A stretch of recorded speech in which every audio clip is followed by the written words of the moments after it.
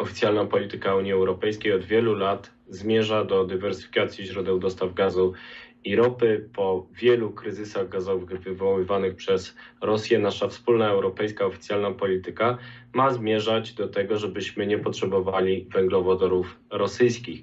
Jednak dopiero konflikt na Ukrainie, atak Rosji na Ukrainę i zbrodnie, które popełnia tam reżim Władimira Putina, przekonały wszystkich, a nie tylko wybranych przedstawicieli państw Unii Europejskiej do porzucenia gazu z Rosji. Mamy możliwość porzucenia tych dostaw na poziomie europejskim. Komisja Europejska przedstawiła plan obniżenia zapotrzebowania na gaz rosyjski o 50 miliardów metrów sześciennych e, do końca 2022 roku, czyli o 2 trzecie do końca tego roku i całkowicie do 2030 roku.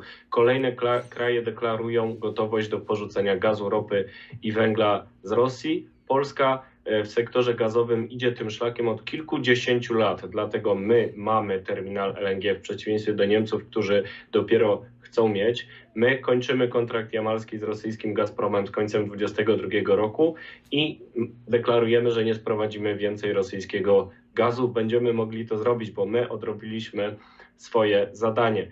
Wciąż jednak Polska jest zależna od e, ropy e, rosyjskiej, podobnie jak na przykład Niemcy, natomiast w razie konieczności może porzucić te dostawy. Niemcy deklarują, że e, zmniejszą o połowę import ropy rosyjskiej do końca tego roku. Warto byłoby, żeby Polska także przedstawiła taki cel redukcyjny. Warto byłoby, aby cała Unia Europejska zajęła się tym tematem. Natomiast jeśli chodzi o węgiel, sprawa jest bardziej skomplikowana, ponieważ to nie państwo polskie sprowadza większość węgla z Rosji, ale odbiorcy prywatni, którzy e, wykorzystują go do ogrzewania w domach albo w małych regionalnych elektrociepłowniach. Natomiast da się wprowadzić rozwiązania, które przynajmniej ograniczą ten import i ten gaz, ropę i węgiel możemy sprowadzać e, z innych kierunków. Do tego dochodzą zapasy, więc strachy na lachy Władimira Putina nie powinny nas blokować, powinniśmy raczej zablokować dostawy węglowodorów z Rosji, a najlepsze rozwiązanie to embargo unijne, ale na nie e, nie wiadomo, czy wystarczy woli politycznej w całej Europie, bo musimy mieć tutaj konsensus.